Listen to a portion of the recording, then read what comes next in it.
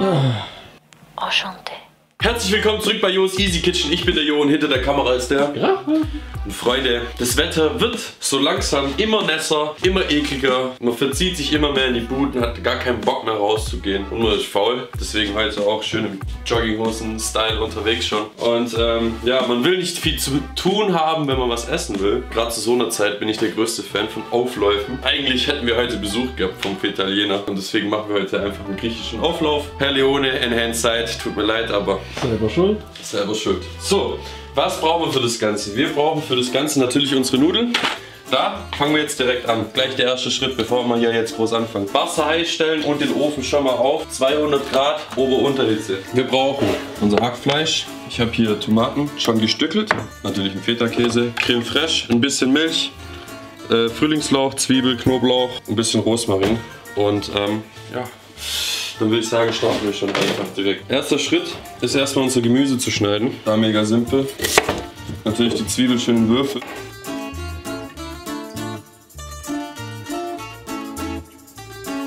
Das ist eine recht fette Zwiebel gewesen, aber mein Gott, das sind jetzt auch 400 Gramm Hackfleisch, also von daher gar kein Thema. Das ist natürlich für eine Auflaufform. Natürlich, natürlich, natürlich noch unseren Knobi. Dann natürlich den Frühlingslauch noch. Das Gute ist jetzt hier, ich nehme hier extra kleine Nudeln, weil die dauern auch nicht lang. Kann man sich natürlich auch nochmal Zeit sparen. Und auch nochmal sowas, je kleiner eure Nudeln sind bei einem Auflauf, desto kürzer braucht ihr eigentlich insgesamt. Weil es natürlich, gart natürlich alles nach innen, die Hitze braucht, bis sie äh, drinnen ist. Und je dicker die Nudeln sind oder je mehr Volumen in das Ganze ist, desto länger braucht das Ganze, äh, sag ich mal, die ganze ich, denke immer an Geschwindigkeit, wenn ich an, an äh, Temperatur denke. Alter! Katastrophe, Mann! Wie wäre es einfach mit der Dichte? Mit der Dichte. Umso dichter der Auflauf ist, umso länger braucht er, bis er bis in ja durch ist. Genau das. so, jetzt haben wir eigentlich das geschnitten.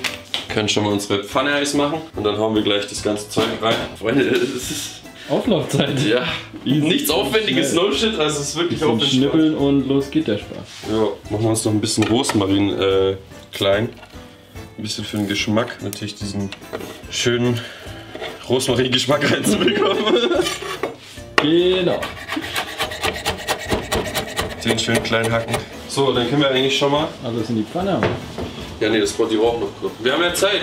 Wir haben ja entspannt wirklich Zeit. Wir müssen das nachher ja die ganze Masse, sag ich mal, alles vermengen. Dafür nehme ich mir gerne immer eine extra Schüssel. Da kann ich schon mal den Feta-Käse reinmachen. Schön zerdrücken. Natürlich mit sauberer Hand, das versteht sich, glaube ich, von alleine. Da rein haue ich jetzt unseren Rosmarin schon mal rein. Das würzen wir auch schon mal einen Ticken.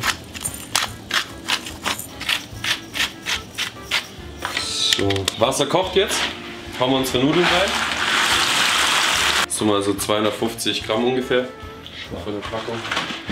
Ja, wir haben ja auch noch mal fast ein ganz ein halbes Kilo an Nudeln, äh, an äh, Fleisch noch. Also von daher schwach. Schwach. Das soll auch noch in diese kleine Auflaufform reinpassen, Mann. Schwach. Schnauze. So, jetzt das Hackfleisch rein.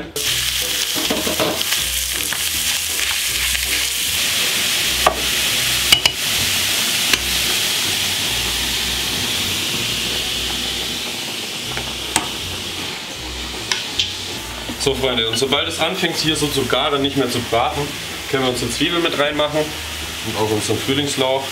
Es wird auf jeden Fall ein extrem intensiver äh, Auflauf, das weiß ich jetzt schon vom Geschmack her. Gerade der Feta, gerade mit den schönen Zwiebeln, so richtig griechisch, Richtig halt einfach schön deftig einfach. Das bisschen Knoblauch.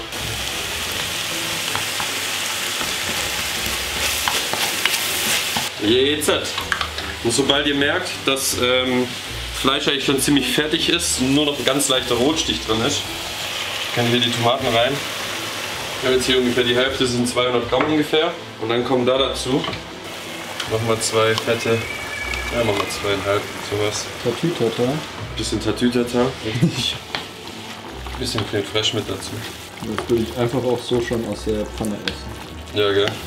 Du kannst ja jetzt schon so Nudeln dazu und fertig. So, und jetzt kochen wir das Ganze auf. Wollen das natürlich, dass es sich noch ein bisschen bindet. Die Nudeln müssen eigentlich auch gleich fertig sein. Nudeln raus, das wie gesagt kurz aufkochen lassen und dann mit dem Zeug vermischen. Auflaufform, Käse, fertig. Easy peasy, Junge.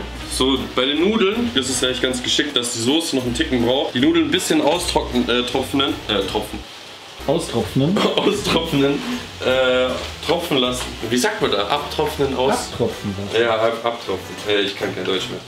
Bisschen abtropfen lassen. Ja, was soll ich jetzt sagen? Achso, Abtropfen lassen. weil wir wollen ja nicht zu viel Flüssigkeit auch in dem äh, Auflauf, wir wollen ja auch, dass es schön bindet. Aber, ich sehe schon, kommen wir vielleicht hierher. Ihr seht schon, das schlägt richtig schöne Blasen. Das ist jetzt keine flüssigere Masse mehr, es ist noch leicht flüssig, aber eher so ein bisschen dickflüssig mit dem Ganzen. So, jetzt nehme ich, glaube ich, nehme nicht alles von den Nudeln, weil sonst passt es nicht rein. Schauen wir einfach mal. Wir machen das Stück für Stück. Ein bisschen gucken, dass die Flüssigkeit ein bisschen rauskommt. Was? Ein Haufen. Digga, das ist jetzt so krank. Digga! Ich hab so Bock auf diesen Auflauf, Mann. Also wenn ihr mal Bock habt auf so eine Auflaufserie, ich glaube, das könnte richtig witzig werden, dann schreibt es mir gerne mal unten in die Kommentare rein. Leute, jetzt befüllen wir mal unsere gute Form. Oh yes. Ja, wie geil. Wir haben jetzt die Milch auch gar nicht gebraucht. Das wäre zu viel, zu viel Flüssigkeit gewesen. Milch braucht ihr gar nicht nehmen. Habe ich mich spontan jetzt dazu. Tomatensoße ist ja quasi schon. Ja, also das ist ja nicht reine Tomatensauce. Ja, ja schon, aber da ist ja viel Tomate. Wasser mit dabei. Also Ja, wahrscheinlich das meiste an dem Ganzen. Eben. Gouda oder Mozzarella? Gouda. Mozzarella. Okay. so, und jetzt machen wir noch ein bisschen Mozzarella drüber. Also da könnt ihr natürlich ja. spontan, ja, jetzt. Spontan Ostern. Spontan ausrasten und spontan entscheiden, welchen Käse ihr nehmt. Also wenn ihr vor allem so vorbereitet sind wie wir. Weil es bei uns gefühlt alle drei Tage äh, Pizza gibt. Und sich jedes Mal drum gestritten wird, was drauf auf die Pizza kommt. Also könnte man doch jetzt bestimmt auch noch Parmesan drauf machen. Oh, verliebt. Ja, dann wird es aber eher wieder in die italienische Richtung. Ja? Ja, okay, Mozzarella ist auch italienisch. Verdammt. Egal. Egal, Freunde, der Auflauf wird trotzdem krass, ist ja jetzt auch egal. Nimmt was ihr wollt. So, diesen wunderschönen Auflauf schieben wir jetzt für eine halbe Stunde ab und dann sehen wir uns wieder. guck dir den an, Alter. Das ist richtig schön da.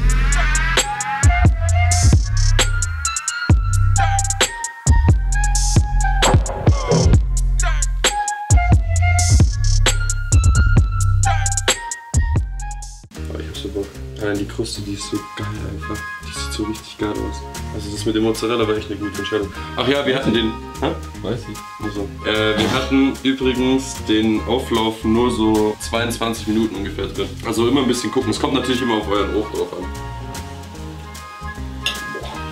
Boah, Boah, Alter. Digga, wie cremig der ist, Alter. That's what she said.